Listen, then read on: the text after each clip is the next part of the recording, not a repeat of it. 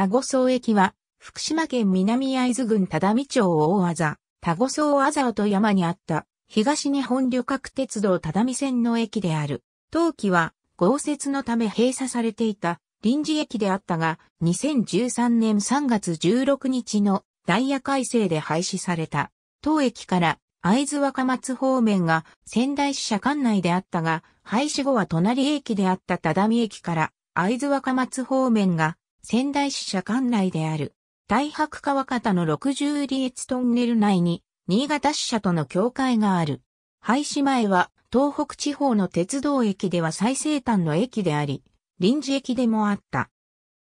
しかし、営業キロと換算キロの設定があった。駅舎内部。右手前が入り口で、左奥の階段を下って、ホームに行く営業当時のホーム。線路の北側に、単式ホーム一面一線を有する地上駅。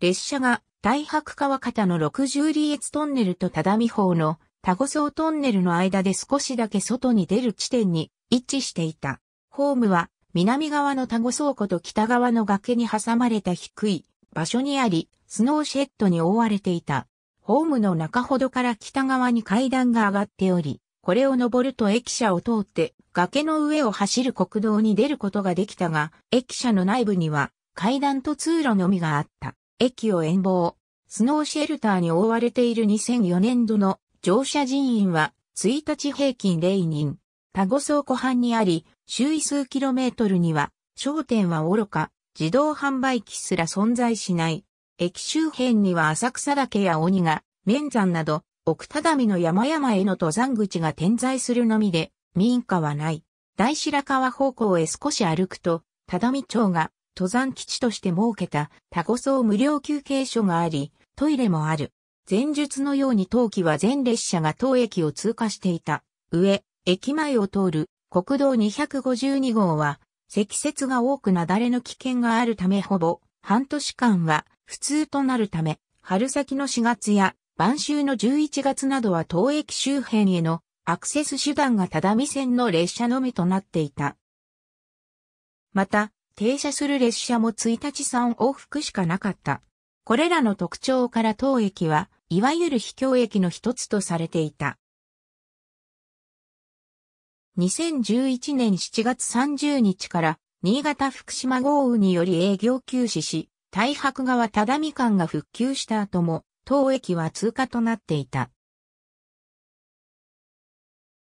2012年9月12日、JR 東日本新潟支社は定例会見において当駅を廃止する方針を表明。2013年1月、只見町側に同年3月で廃止する意向を伝えた。町、町議会は容認できないと反対の姿勢をとっていた。なお、前述の通りあたり駅は仙台支社管轄の駅であった。廃止後も駅舎は現存しているが、駅舎内に入ることはできない。なお、通過列車の中から出口に向かう階段、待合用のベンチとともに、ホームが残っているのが確認できる。東日本旅客鉄道只見線只見駅、田子荘駅大白川駅只見線田子荘、駅廃止について仙台支社管内で支社最寄り駅で、ある、仙台駅から一番遠い駅でもあった。